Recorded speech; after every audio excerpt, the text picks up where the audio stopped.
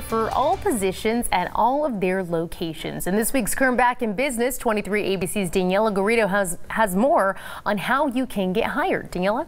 That's right. Panda Express currently has 10 locations in Bakersfield, and they are looking for the next manager, chef, or cashier to fulfill their mission of being a fast and casual food place.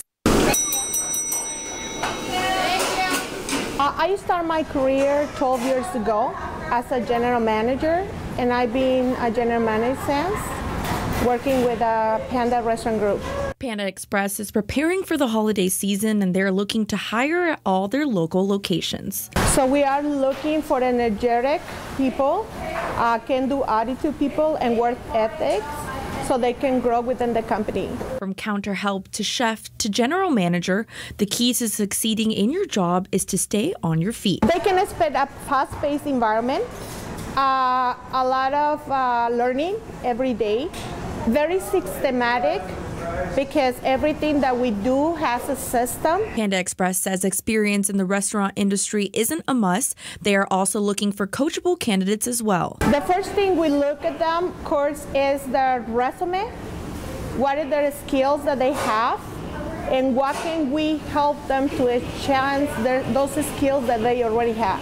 Eileen is a part-time counter helper and a Bakersfield College student who was hired to the Panda Express team three years ago through a referral. What helped me land into this job was my personality.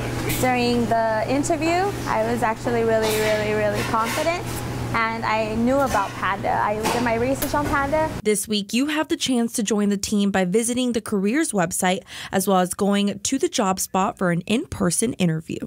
You want to be ready with your resume, uh, maybe uh, any certifications that are relevant to the position. Uh, for, for example, any food handler certificates, anything that you have that's going to give you the competitive advantage.